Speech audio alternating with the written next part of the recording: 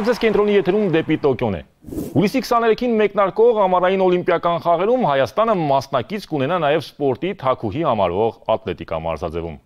Եռացատկում մեր երկիրը կներկայացնի կապանցի Լևոն Աղասյանը։ Մեր մարզիկին օլիմպիական ուղեգիրը հեշտությամբ չտրվեց։ Ոչ մի կերպ չէր հաջողում լրացնել օլիմպիական նորմատիվը 17 մետր 14 սանտիմետր արդյունքը բայց Լևոնը պայքարեց մինչև վերջ եւ ի վերջո Վրաստանում կայացած բաց առաջնությունում նվաճեց օլիմպիական ուղեգիր։ Այսօր Լևոն Աղասյանը իմ հյուրն է։ Ողջույն Լևոն, նախ շնորհավորում եմ օլիմպիական ուղեգիր նվաճելու կապակցությամբ, այն քեզ հեշտությամբ չտրվեց մեծ դժվարությամբ, մեծ ճիքերի գնով, բայց փառք ու պատիվ քեզ, որ ի վերջո կարողացար նվաճել։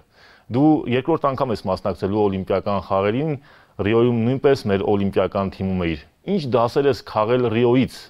Ինչ պետք է անես Տոկիոյում, որպեսի հաջող ելույթ ունենաս։ Բարև ձեզ Արամ ջան, շնորհակալ եմ հրավերի համար։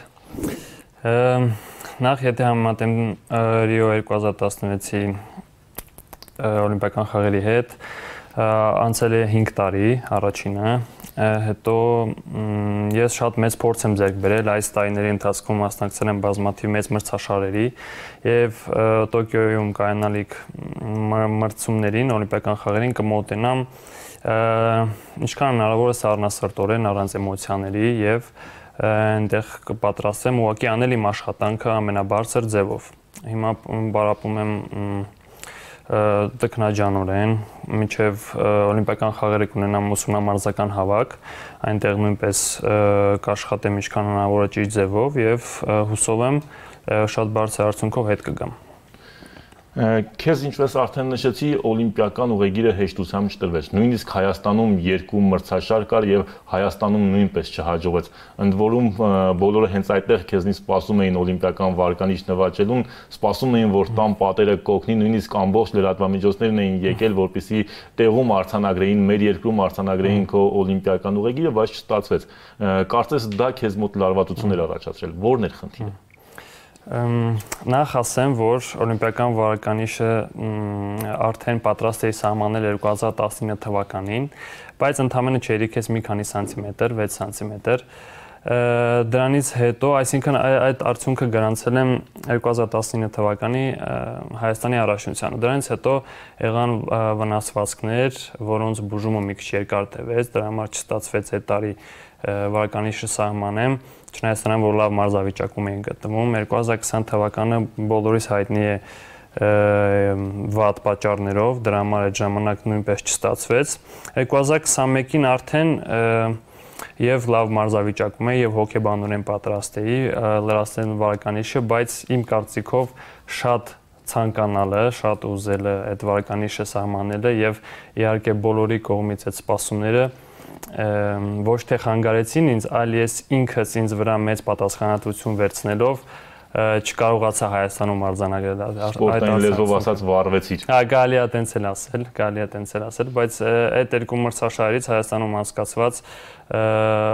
դաս քաղելով եւ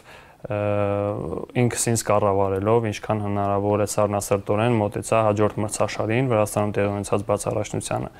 ու այնտեղ շատ բարձր արդյունքներ գրանցեցի իմ բոլոր 6 փորձերում։ Գիտես ինչն է հետաքրքիր բոլոր մասնագետները խառնված էին հայաստանյան մրցումների ժամանակ, մտածում էին մեր առաջատարը, մեր ատլետիկայի առաջատարը չի կարողանում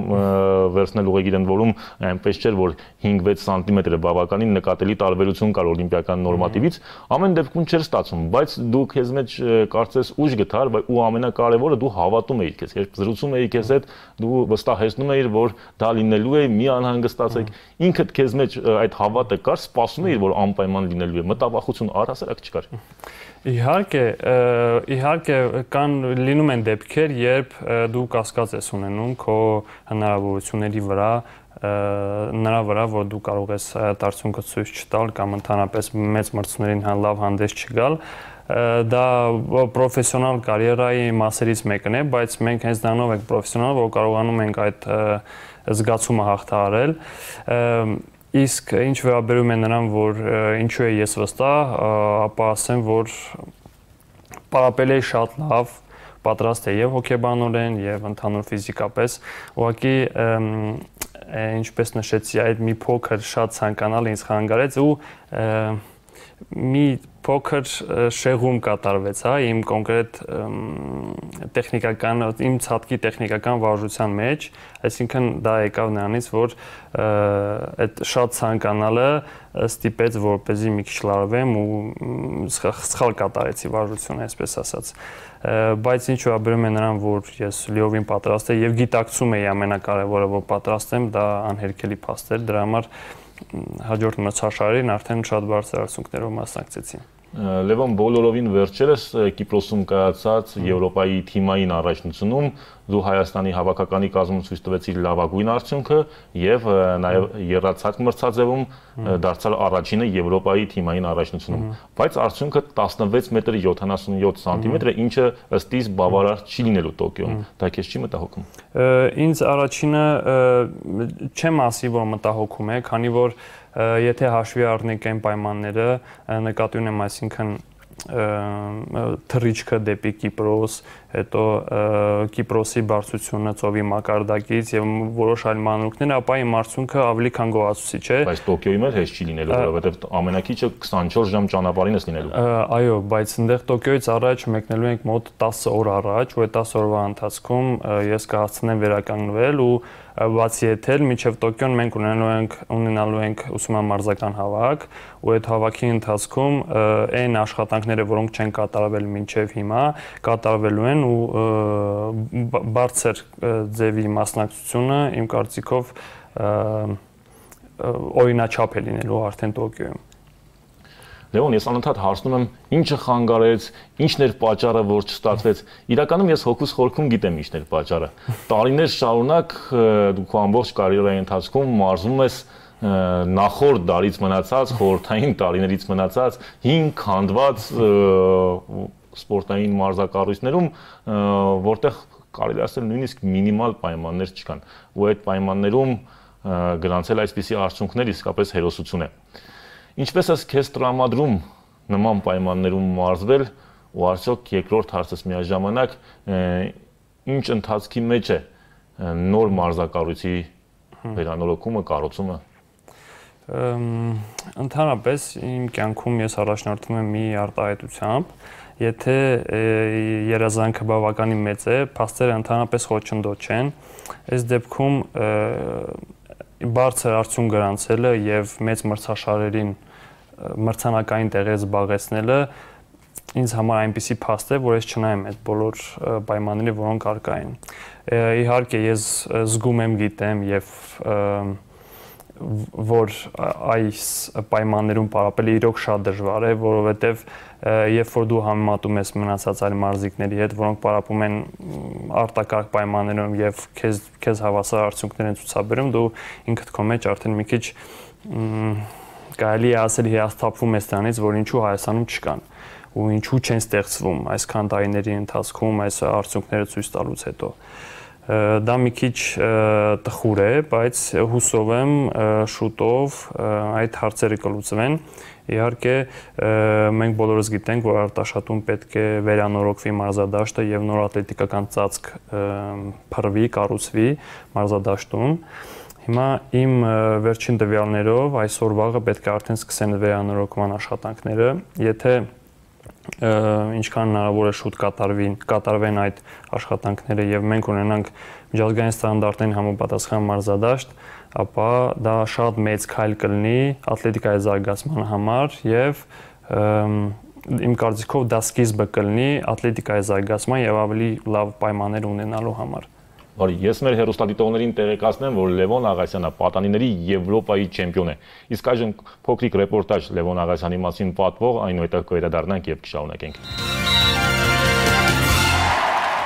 Տոկիոյի օլիմպիական խաղերը Լևոն Աղասյանի համար կլինեն երկրորդ մասնակցությունը ամառային օլիմպիական ստուգատեսին։ Նա օլիմպիական ուղեգիրը նվաճել է Վրաստանում կայացած բաց առաջնությունում։ Կապանցի մարզիկը թեև չի ունեցել մարզվելու բավարար պայմաններ, բայց հասցրել է բավականին տիտղոսներ նվաճել։ Նա Եվրոպայի երիտասարդների չեմպիոն է, Բալկանյան երկրների առաջնության 6-ակի հաղթող, միջազգային կարգի սպորտի վարպետ։ Աղասյանը ատլետիկայով սկսել է զբաղվել 2005 թվականի ապրիլի 7-ից, երբ դեռ 10 տարեկան էր։ Նշում է, որ այդ օրը շատ լավ է տպավորվել, որովհետև դպրոցում ապրիլի 7-ի միջոցառմանը պատրաստվելու պատճառով հենց առաջին օրը ուշացել է մարզումից։ Լևոնի որակները երևացել են հենց առաջին մարզման ժամանակ ու հաջորդ օրը մասնակցել է իր առաջին մրցմանը։ Ճիշտ է, ուրախությունն անսահման էր, բայց մրցումից հետո երկու օր չի կարողացել վեր կենալ մահճակալից։ Կոնկրետ երացածքի ընտրությունը կատարվել է 2007 թվականին։ Հայաստանի առաջնությունում մասնակցել է հերացածք եւ երացածք մարզաձևերում։ Երկուսն էլ լավ են ստացվել, բայց ավելի հաջող էր երացածքի մրցումը։ Ի վերջո,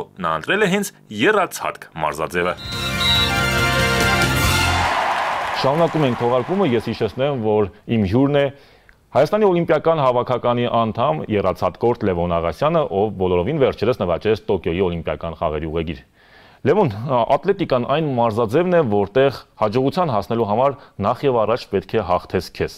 Կամ իրավիճակ, որտեղ դեռ դժվարանում ես հաղթել ինքդ քեզ։ Շատ ճիշտ նկատեցիք, որ համարյա միշտ եւ մարզումների ժամանակ եւ մրցումների ժամանակ դու բախում ես այն խնդրի կամ այն այսպես ասած վարժությանը, որ պետք է անդադ հաղթահարես քեզ, քո ուժերը, հաղթահարես քո վատ սովորությունները, որ เป զի կատարես ինչ որ մի հատ աշխատանք կամ ինչ որ արդյունք գրանցես։ Դա իրականում բավականին դժվար է ու ես միշտ նշել եմ, որ ատլետիկան ավելի շատ պայքար է ինքդ քո դեմ, քան քո մրցակիցների։ Իհարկե դու ունես մրցակիցներ, բայց դու քո աշխատանքը, քո վարժությունը կատարելիս դու փորձում ես հաղթահարել քեզ եւ ցույց տալ ինչքան հնարավոր է բարձր արդյունք ու այն արդյունքը, որը որը երբեք չես գրանցել։ Դա դժվար է, դժվար է, չեմ հերքի։ Ճիշտն ասած, մարզումների ժամանակ նման խնդրի չեմ զբաղվել, այսինքն եթե պետք է կատարվի ինչ որ աշխատանք, որը որ անհրաժեշտ է, ես դա ինչքան էլ չկարողանամ կամ ալարեմ կամ չգիտեմ, նմանատիպ այլ բաների բախվեմ, ապա կանեմ միջև վերջ։ Իսկ մարզումներից դուրս կան մի քիչ խնդիրներ, ոչ թե խնդիր, այլ ճիշտ ասած խոչընդոտներ կան դեպքեր, երբ ծուրանում եմ օրինակ, յամա եթե օրինակ պետքա ռեժիմով պետքա քնեմ 11-ին օրինակ, ես կարող եմ քնեմ մի քիչ ուշ 12-ին, բան որտեվ ինչ որ մի բանով եմ զբաղվում կամ գիրք եմ կարդում կամ ինչ որ բանով զբաղվում եմ։ Այդ ավելի շատ խնդիրը ինձ մոտ կայանում է դրանում, որ մարզումներից դուրս մի քիչ ավելի ճիշտ վերաբերվեմ, ավելի պատասխանատվությամբ վերաբերվեմ իմ գործողություններին քիչ առաջ խոսեցիր վատ սովորություններից, արդյոք ռեժիմը քո միակ վատ սովորությունն է։ Չէ, ճիշտ ասած, ես ռեժիմը շատ ճշտապահ ձևով պահում եմ, ուղղակի տենց դեպքեր լինում են։ Միշտ չէ, որ տենց է։ Իսկ վատ սովորություններից չգիտեմ, երևի մենակ կասեմ այն, որ մի քիչ ծույլ եմ, բացի այդ ռեժիմի ռեժիմին ժամանակ եղող փոքր այդ ներբությունները ծուլություն անում եմ, հա, եթե իմ ծնողներին կհարցնեք, իրենք ասեն դրա մասին։ Լևոն օլիմպիական խաղերում ինչի ես ձգտելու, որն է լինելու քեզ համար գոհացնող արդյունք։ Օլիմպիական խաղերին առաջինը կասեմ, որ մոտենում եմ ինչպես ցանկացած մեծ մրցաշարին եւ այն լարվածությունը, որը եղել է մի քանի տարի առաջ, մեծ մրցաշարերի մասնակցելուց առաջ, հիմա չկա, որովհետեւ ես գիտեմ, գիտակցում եմ եւ եւ էմոցիոնալ ձևով պատրաստ եմ գնալ ու այնտեղ կատարել կոնկրետ իմ աշխատանքը, կատարել բարձր ձևով։ Հիմա դրա համար պետք է ճիշտ նախապատրաստում, այդ նախապատրաստումը անում ենք ինձ համար գոհացուցիչ կլինի այնտեղ սահմանել անձնական ռեկորդ եւ եզրափակիչ անցնել, իսկ եզրափակչում արդեն ինչպես մեր լեզվով ասում են, լրի ուրիշ մրցույթ է տեղի ունենում, այնտեղ արդեն դու պայքարում ես մրցանակային տեղ զբաղեցնելու կամ ինչքան հնարավոր է բարձր տեղ զբաղեցնելու համար։ Իսկ որքան պետք է ցածկես, որ նախ լինի անձնական ռեկորդ եւ երկրորդ հավակնես եզրափակիչ դուրս գալու։ Իմ անձնական ռեկորդը հիմա 17 մետր 16 սանտիմետրն է, որը որ գրանցել եմ այս 30-ին դրանից ցանկացած բարձրացում արդեն անձնական ռեկորդ է իսկ եզրափակիչ անցնելու համար ես կոնկրետ արդյունք չեմ կարողացել ու եւ ոչ մեկը չի կարողացել որովհետեւ կախված է այդ ժամանակ այդ մրցումներից եղել են որ եզրափակիչ են անցել 16-60-ով եղել են որ եզրափակիչ են անցել 16-90-ով 17 մետրով այսինքն կախված է կոնկրետ այդ մրցաշարից մրցումից Դե ինչ քեզ օլիմպիական ճախրանք եւ մեդալից հատկ եմ մաղթում Ինչպես կյանքում, այնպես էլ սպորտում անհնարին բան չկա։ Մեր ըմբիշներից մեկը Արսեն Հարությունյանը նշում էր կհաղթի նա, ում աստղը այդ օրը կփայլի։ Քեզ մաղթում եմ, որ այդ օրը քո աստղը փայլի եւ դու հաջողություն գրանցես օլիմպիական խաղերում։ Շատ շնորհակալ եմ։ Սիրելի հերոստատիտողներ, կենտրոնի եթերում դեպի Տոկիոներ։ Ես հիշեցնեմ, որ օլիմպիական խաղերում մեր մարզիկների մասնակցության գլխավոր հովանավորը Հայաստանում ամենաարագ ինտերնետ ապահովող Ucom ընկերությունն է։ Դեպի Տոկիո, դեպի օլիմպիական նոր ոսկիներ։